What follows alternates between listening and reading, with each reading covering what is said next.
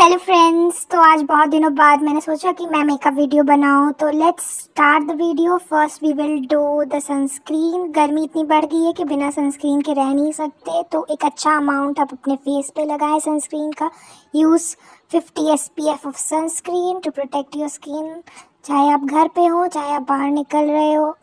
इसे मैं अच्छे से मसाज करूँगी अपने फेस पे और उसके बाद पाँच मिनट ऐसे ही छोड़ दूँगी। ताकि वो एब्जॉर्ब हो सके। और जैसे कि आप देख सकते हैं इसका वाइट कास्ट बिल्कुल भी नहीं है, ये जॉय का क्रीम था। मैंने इसे नेक एरिया पे भी लगाया है। और ये मैं मसाज दे रही हूँ ये पाँच मिनट मुझे छोड़ना था। देन फिर मैंने जूम इन किया एंड लेट्स सी अब आगे क्या करते हैं। फिर हमने सबसे पहले प्राइमर लगाया। प्राइमर इज़ इंपॉर्टेंट क्योंकि हमें अपने पोर्स कवर करने होते हैं, हमारे nose area cheek area forehead सब जगह पे पोर्स ओपन होते हैं तो पहले हम पोर्स को क्लोज़ करेंगे। आप इंस्टेंट डिफरेंस देख सकते हैं प्राइमर यूज़ करने के बाद। प्राइमर लगा लेने के बाद नेक्स्ट स्टेप है हमारा कंसीलर कंसीलर हम जहाँ जहाँ हमारे डार्क स्पॉट्स हैं या फिर अंडर आई एरिया है, इन सब जगह यूज़ करेंगे तो मैंने सिर्फ़ अपने अंडर आई एरिया में यूज़ किया है, क्योंकि वो बहुत डार्क लग रहा था। देन ये कर लेने के बाद आपका नेक्स्ट स्टेप होगा कि आप उसे अच्छे से ब्लेंड करो, जैसे कि मैं अभी कर रही हूँ। देखो, एकदम क्लियर लगना चाहिए, लगना नहीं चाहिए कि अलग से कुछ लगाया है। फिनिश लुक आना चाहिए। फिर हमने मेबलिन फिट का 310 पैटलेस फाउंडेशन यूज़ किया है और ये पता नहीं मैंने मिरर क्यों ले आया बीच में। देन ये कुछ ज़्यादा ही फाउंडेशन हो गया था but it's okay we will fix it फिर हम इसे भी ब्लेंड करेंगे और ये मैं ब्लेंड कर रही हूँ। ब्लेंडर से एक अच्छी तरीके से हमें इसे ब्लेंड करना है। इसे सिर्फ़ हमें फेस एरिया पे नहीं नेक एरिया पे भी लगाना है। उसके बाद फिर हमारा नेक्स्ट स्टेप होगा। कि थोड़ा सा इसे फेस में एब्जॉर्ब होने दे। जैसे कि अभी आप देख रहे हैं, मेरे फेस में एब्जॉर्ब हो रहा है। मेकअप को एक के ऊपर एक जल्दी जल्दी नहीं करना है, वरना वो स्किन एब्जॉर्ब नहीं कर पाएगी। फिर हमने नेक्स्ट स्टेप किया eye shadow eye shadow palette मैंने लैक में एब्सोल्यूट का यूज़ किया है। फिर मैंने ये पिंक कलर यूज़ किया था और साथ में एक और pink colour light shade shimmery use किया था। दोनों को मिक्स करेंगे और फिर हम अपने क्रीस एरिया पे यूज़ करेंगे आईज़ में। इसे अच्छी तरीके से लगाना है। आराम से करे, कोई हड़बड़ी नहीं है। Go slow and study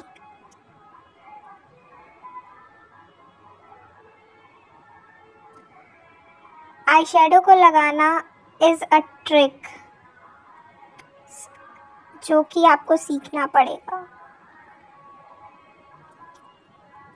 now मैं एक सेकेंड जो मैंने पिंक कलर का शिमरी शेड लिया था, वो लगा रही हूँ। देखो इंस्टेंटली कलर डिफरेंस आ गया। अब देखो, इधर ऑरेंज ही दिख रहा है। देखना पिंक लगेगा। मैं लगा के दिखा रही हूँ। ये देखो, इधर भी इंस्टेंट कलर चेंज आया। आई शेडो को मिक्स करना इज़ द गेम जो आपको सीखना पड़ेगा। फिर मैंने ये दोनों करने के बाद मैंने अपने आई कॉर्नर पे लगाया था। येलो शेड थोड़ा bright up pop up look देने के लिए। वो भी मैंने उसी पैलेट में से यूज़ किया है। आप एक थिन ब्रश यूज़ कर सकते हो, जैसे मैंने यूज़ किया you should have a good brush आप अपने हिसाब से इस अमाउंट को बढ़ा या घटा सकते हो। फिर मैंने लोअर लाइन एरिया पे एक डार्क का शेड लगाया। ये भी आपको आराम से करना है, कोई हड़बड़ी नहीं है। बहुत ज़्यादा भी नहीं लगाना और बहुत कम भी नहीं लगाना। ऐसा रहना चाहिए कि विजिबल हो।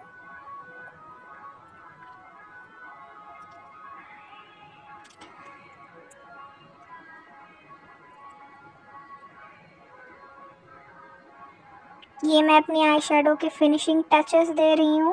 थोड़ी बहुत जो बच गई थी एंड दैट्स ऑल इसके बाद हम करेंगे नेक्स्ट स्टेप जो कि है आईलाइनर लाइनर लाइनर से हमारे आइज़ ऑलमोस्ट कंप्लीट हो जाएगी। तो मैंने ब्लैक आई लाइनर यूज़ किया है, और मैंने विंग आई लाइनर बनाया था, जैसे कि आप देख रहे हो। मैं फिर से कहना चाहूँगी, ज़्यादा हड़बड़ाना नहीं है, एकदम आराम से करना है। इट्स नॉट दैट हार्ड एक आँख तो सही से सबका लग जाता है, दूसरे आँख में प्रॉब्लम होती है। तो इधर भी आराम से करना है, कोई हड़बड़ी की बात नहीं है गो इजी गो स्लो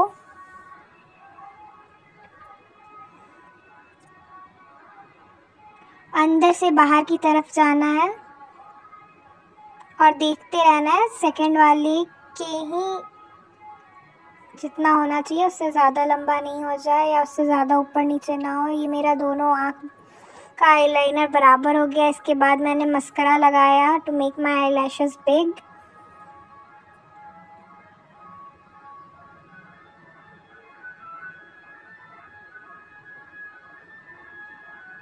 आप आई लैशेज़ भी लगा सकते हो। इसके बाद और नहीं तो इतने पे भी छोड़ सकते हो। बट मैंने आज अपने लुक को कंप्लीट करने के लिए इसके बाद आई लैशेज़ भी लगाए हैं। तब मैं देखना चाहती थी कि वो कैसे लगते हैं। मैंने रिसेंटली एक नया आई लैशेज़ बाई किया था। सो मैंने मस्करा करने के बाद आई लैशेज़ भी लगाए हैं, जो कि आगे दिखेगा ही। ऐसे ये इंस्टेंट देखो मेरे आईज़ कितने डिफरेंट हो गए पहले से। और ये थे वो आई लैशेज जिनकी मैं बात कर रही थी। इनको लगाने के बाद मेरी आँखों में और ज़्यादा खूबसूरती बढ़ गई। इसके बाद फिर मैंने ड्राई ब्लश यूज़ किया अपने फेस पे, जो कि लॉरेल का था। बहुत ज़्यादा नहीं हल्का हल्का मिनिमम लगाना है। मेरे फेस पे आजकल पिंपल्स बहुत हो गए हैं सो फेस आप देख सकते हो। बट स्टिल मेरा मेकअप अजीब नहीं लग रहा है, एकदम क्लियर है। ये ब्लश मैंने हल्का सा लगाया जो कि शायद विजिबल नहीं हो रहा है। बट एकदम मिनिमम था, इसीलिए। इसके बाद हम मेन स्टेप पे आएँगे, जो कि हमारा लिपस्टिक तो मैंने कोई बोल्ड कलर नहीं यूज़ किया है, मैंने एक लाइट कॉफ़ी कलर यूज़ किया है। इसके बाद ये मेरा फाइनल लुक ड्रेस के साथ था। Thank you for watching do like and subscribe to my channel